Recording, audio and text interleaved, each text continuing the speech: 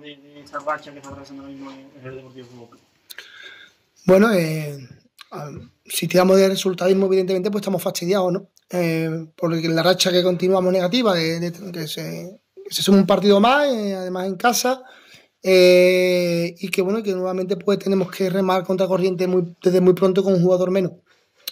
El resultado, pero bueno, eh, nos fastidia, nos fastidia también, bueno, por esa dinámica, pero la verdad que por otro lado, pues nos vamos sobre todo reforzados em, por la actitud del equipo, ¿no? Yo creo que hoy es para estar orgulloso de mis jugadores, porque con un jugador menos tantos, tantos minutos, no sé si han sido 60, 65, pues se han mostrado superiores a un, a un Cádiz B eh, durante toda la segunda parte y bueno, y hemos generado las suficientes ocasiones y llegadas de gol, de gol como para ponernos por delante y llevarnos algo más que, una derrota hoy, ¿no? Así que bueno, hemos tenido que remar nuevamente con mucha, muchos contratiempos y, y bueno, en nuestro caso, pues, bueno, eh, seguir trabajando, insistiendo en lo que hemos conseguido hacer hoy, que creo que ha sido un partido en el cual hemos tenido controlado la primera parte, en, cuando lo teníamos controlado llegó esa expulsión y sin embargo hemos seguido incluso creciendo desde esa expulsión, ¿no? Así que bueno, el equipo, si sigue esa línea, tenemos la tranquilidad y la seguridad de que, al final nos llegarán los premios, porque creo que hoy el fútbol al final con nosotros sí, eh, ha sido algo es injusto.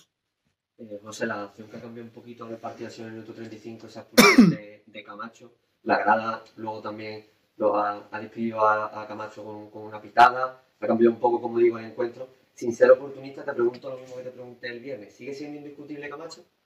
A ver, pues acabamos de terminar el partido, indiscutible no tenemos a nadie. No, pero me refiero, lo que te pregunté el viernes. Sí, sí, pero. A raíz de que la, la afición está cabreada o está enfadada. A ver, ya, eh, está claro que, la, que tenemos que respetar la opinión de la, de la afición, pero al final, bueno, igual que se reciben críticas en otros partidos, en otras situaciones y con otros jugadores, al final la decisión la tenemos que tomar nosotros el trabajo diario, desde eh, la situación que creemos conveniente para el equipo y al final son decisiones que tenemos que tomar en frío. Ahora mismo no podemos tomar decisión después de un partido en caliente eh, por un error puntual y decir si Camacho es indiscutible o no, porque tampoco hemos dicho que siempre lo sea.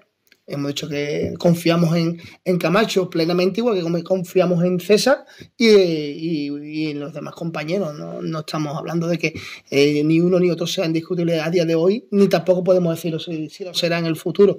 Lo que está claro que, bueno, que, al final eh, es una acción puntual que, bueno, que la lástima es que, bueno, que viene acumulada de otra de otros partidos, una acumulación y bueno, pues el, público ha creído conveniente esa actitud. Nosotros tenemos otra otra opinión, igual que respetable que la que tenemos de la afición y bueno, y, cada uno pues tendrá la suya. A lo mejor tampoco ha sido toda la afición la que, la que ha silbado, habrá sido un, una parte, eh, lo que pasa es bueno, que, que, que, se ha oído y, y tenemos que respetarlo simplemente. Error sí que ha sido grave por lo que hablamos, de que también pasó en Cáceres, el propio Camacho dijo que él se había equivocado cuando pasó lo de Cáceres, él dijo que se había equivocado. A lo mejor era mejor que, que fuese gol y no la expulsión. No sé cómo está él en el vestuario, si habéis podido hablar ya con él, eh, porque como te digo, el error, como tú dices, es repetido y es, y es grave. Sí, Luis, eh, Camacho estaba fastidiado, bastante fastidiado. Y seguramente hoy pues no duerma o incluso le cuesta consideración varios días. Porque está claro que todos queremos hacerlo bien, que nadie queremos errar y nadie lo hace malintencionada. Camacho que intenta, igual que todos los compañeros, hacer lo mejor posible. La pena que, bueno, que los errores que estamos teniendo, que hoy tampoco hemos tenido excesos de errores, excesivos errores, pues lo estamos pagando caro y estamos en esa línea eh, que nos está castigando constantemente. Yo no recuerdo una racha, bueno, yo creo que nunca lo he vivido, una racha que en 10 partidos ya hemos jugado 4 con un jugador menos y, que, con nuestro estilo, nuestra forma de jugar, siempre nos ha ido bien. De hecho, ya lo hemos alguna vez, el ascenso nos no, no lo ha dado esa forma de jugar y nunca hemos tenido tantos problemas o situaciones en las cuales pues tengamos que jugar con un número por el tema del portero. Al final son acciones puntuales que, que terminan en gol y, destaca, y se destaca más. Y lo que tenemos que seguir es creyendo, insistiendo e intentar corregir todo lo que podemos corregir e intentar que se, se, minimicen esos errores y también, bueno, que también un poco que, que esos errores pues no caigan de, de, tan drásticamente y terminen en gol.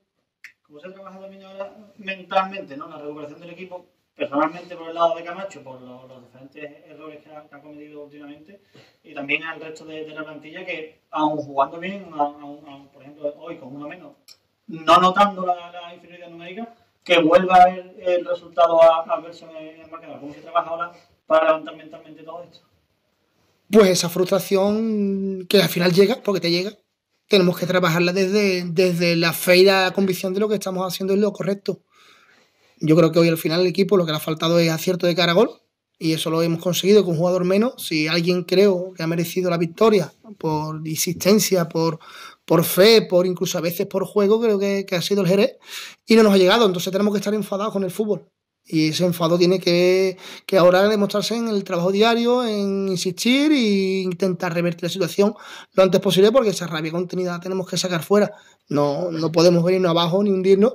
Y para eso también, pues bueno, necesitamos el apoyo de todos, ¿no? De todo el entorno, porque los primeros que estamos fastidiados somos nosotros, el vestuario, que, que a pesar del esfuerzo que ha hecho hoy y que ha hecho otros partidos, pues bueno, se, se va nuevamente con, con cero puntos. Y bueno, y cuando se acumulan varias situaciones así, cada vez pesa más. Y lo que vamos a intentar es pues, quitar ese peso, esa losa y, y, centrarnos y valorar lo que, lo que realmente nos es, es positivo, ¿no? Que, que, es el trabajo, la entrega, la, convicción, como te, como te he dicho antes, y, y creer en, en, los que somos, ¿no? que creo que el equipo está demostrando que, tiene capacidad para, para, competir ante cualquiera, incluso de, de, sobreponerse a situaciones o a muchas situaciones adversas. Dentro de la tristeza, José, porque ha sido algo positivo lo que tú estás comentando, ¿no? que el equipo ha, ha, seguido insistiendo y que con uno menos hoy sí ha sacado ese carácter para ser superior al rival, incluso en inferioridad numérica, y luego la afición lo ha aplaudido cuando ha acabado el encuentro a pesar de la derrota, como aspecto positivo, digo, dentro de la tristeza, ese es un aspecto a, a sumar dentro de que el equipo con uno menos no había rendido lo, lo, que se tenía que rendir contra Córdoba o contra el Vélez, incluso a lo mejor sí contra el Cacereño, y hoy sí que se ha rendido con 10. ¿eh? Sí, además, te digo, un merecimiento de, de, conseguir algo más. Y además, yo creo que la afición ha sido justa, incluso en la segunda parte nos ha espoleado, ¿no? Viendo que el equipo lo intentaba, que quería y que empujaba, y nos ha intentado también espolear para conseguir ese gol.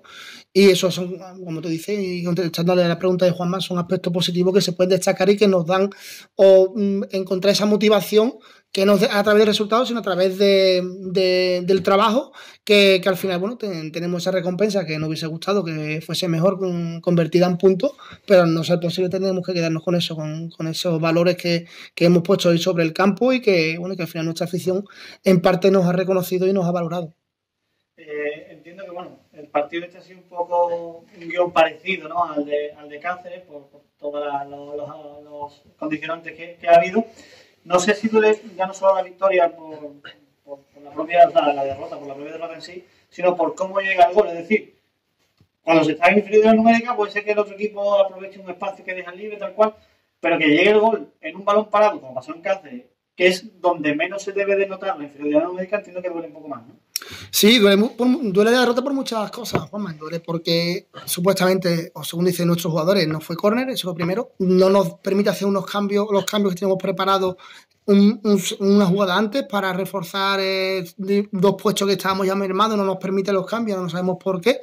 Eh, en ese momento y continúa la jugada, no, nos pita un córner que según nuestros jugadores eh, no lo es y bueno, después el saque, el, el, saque, el saque de esquina, bueno, después de un desvío y un rebote le cae Franco a uno de ellos en el punto de penalti y la mete para adentro.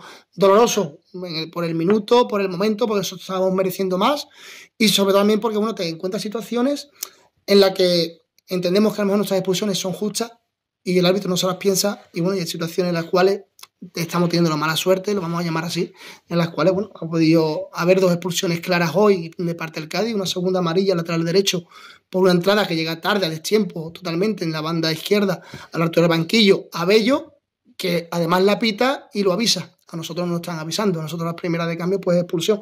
En este caso ha decidido avisarlo el entrenador del o el cuerpo técnico del Cádiz lo ha visto rápidamente, lo ha quitado porque vio que le había perdonado esa expulsión al, al jugador al lateral derecho, que era la segunda amarilla, y después, bueno, ya eso puede ser una interpretación de amarilla pero ya sí es verdad que, que el cabezazo a Bello en el estómago, cuando va a pedirle perdón de una entrada al, al rival, no cabe interpretación. Está claro que, que un cabezazo a un rival no se, no se habla de medidas, sino puede ser mayor o más fuerte o más, o más flojo, pero la intencionalidad ya, ya basta cuando no está el balón en juego, el reglamento dice que es expulsión.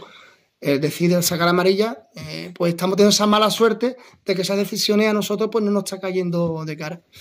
Eh, esperemos que bueno, que pronto también cambie, que alguna vez pues también nos favorezca y que nos ponga un poquito las cosas más, más fáciles también a nosotros, porque la verdad que bueno, que no estamos teniendo esa inercia de que esas expulsiones o esas decisiones caigan a, a favor nuestro. Te veo, José, más eh, dolorido más jodido de esta derrota que de otra. No sé si por lo que dices de que el resultado ha sido injusto, porque a mí me mereció más. No sé si te jode más esta derrota que otra. Es por también la racha que acumula el equipo de tres derrotas. El equipo también entró en descenso. ¿Se junta todo?